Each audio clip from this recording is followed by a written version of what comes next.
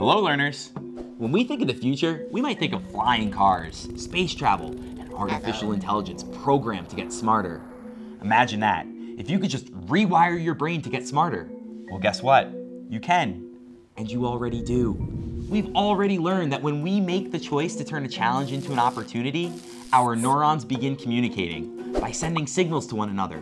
When we lean in and put in effective effort, the signals get stronger, and eventually, with practice, persistence, and productive struggle, the neurons connect and zap! We grow and get smarter.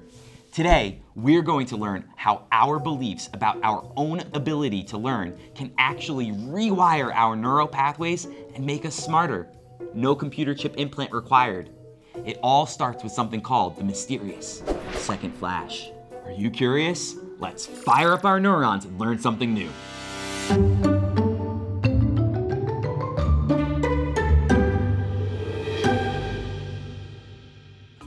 Here to talk about rewiring your brain without a scalpel or pliers or scissors? Really? No. We're going to rewire the neurons in our brains with our brains. Let's take a look at some science. Researchers wanted to find out what happens in the brain when we make a mistake. So they asked a group of participants to complete a series of tasks while wearing a helmet that records electrical activity in the brain.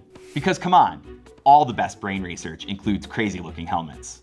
They separated the participants into two groups. We'll talk about how they were separated later. For now, let's just call them Group 1 and Group 2. Participants from both groups would strap on the fancy science helmets and perform some tasks. Then, when the participants made a mistake, they'd record the brain activity. And here's what they found. The instant the participants made a mistake, the helmet recorded a flash in the prefrontal cortex in both groups. As it turns out, all brains have the same initial response to an error. When we make a mistake or face a setback, a neuron sends an electrical signal that flashes in our prefrontal cortex. Hey, you know what the prefrontal cortex is? That's our smart part, the part of the brain that helps us think and make smart decisions. This first flash means that all of the participants were aware that they made a mistake. The researchers called this the hmm, whoops signal.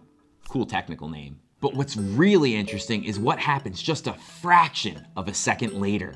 After the hmm, whoops response, the first flash, the scans in group one showed that activity in the prefrontal cortex went back to normal. This meant that their brains didn't think anymore about the mistake. But the scans in group two, just an instant after the mistake, had a second flash.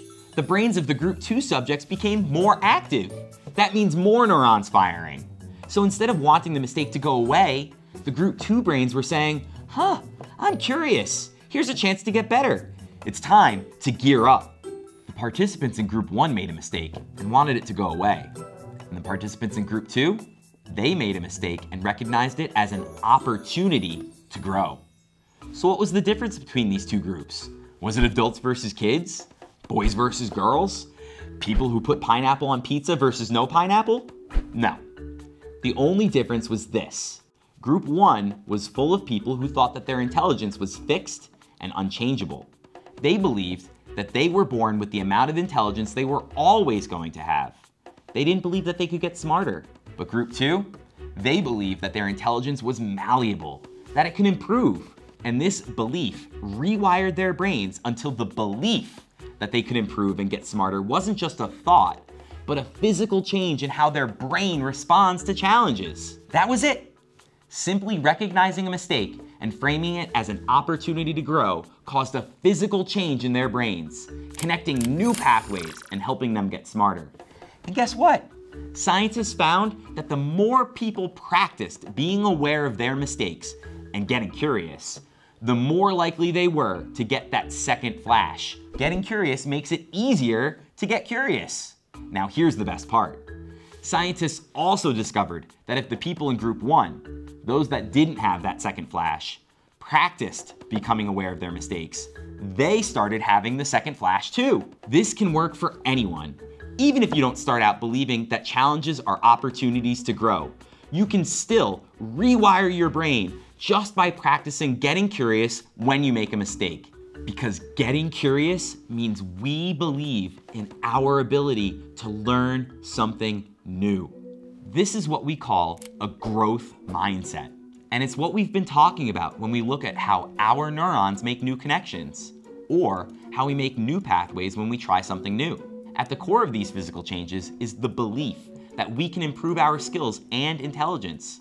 The growth mindset. Growth mindset is really powerful. Like, change the way your brain physically works powerful. And to use it properly, we need to dig into how and why it works. In our next lesson, we're going to explore what growth mindset is and how we can choose to use it to grow and improve. There's a lot more to learn, so we hope to see you there. And congratulations, you just got smarter. Thanks for joining me, learners. This second flash research came from Michigan State University, and you can read more about it at the link in the description. And we've got a bunch more lessons about growth mindset and your incredible brain right here. So we hope you'll keep learning with us.